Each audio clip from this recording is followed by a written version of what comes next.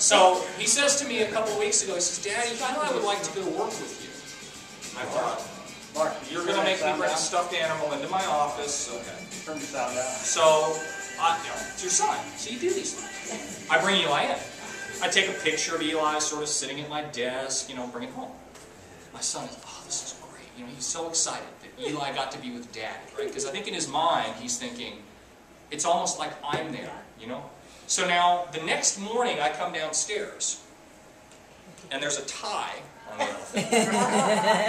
Okay? There's also a briefcase which is actually a Warheads candy container. Oh. In the briefcase is Eli's laptop with a little mouse made from one of those, you know, Easter egg plastic things, and it's got keys. And now Eli must be a hard worker because he's surfing elephant.com. He's surfing. Uh, what else is this?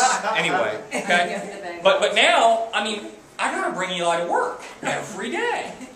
So I bring Eli in, and we decide, okay, here's Eli going to work. He's got his morning coffee there.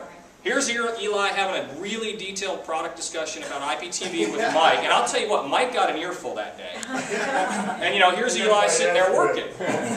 He was so mean to me. Last night, I ran some venison to my house because Britt was kind enough to bring me some venison. I needed to get it into a freezer.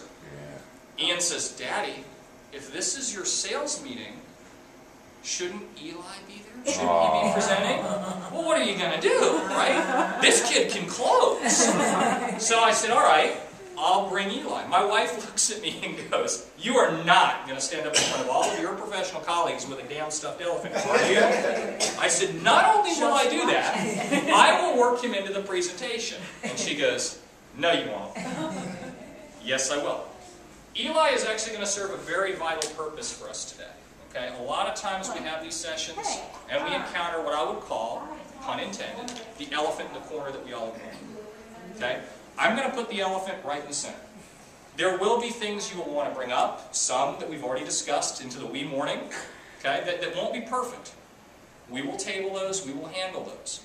To me, the biggest elephant in the corner is, has been, and will soon not be communication. Okay, so he's going to be here in the center to remind us of those elephants that we talk about once a year and then run off and forget about. Okay? So I've now worked Eli in, won the bet, kept my son happy, all in the first two minutes of my presentation. Thank you very much. He's going to show up in the presentation later, too. He actually did a very vital service. I don't know if he's been talking to you. Oh, he always talks to He, me. he actually, I got back to the room last night, it sure felt like there was an elephant in the room at 2 in the morning. And there was.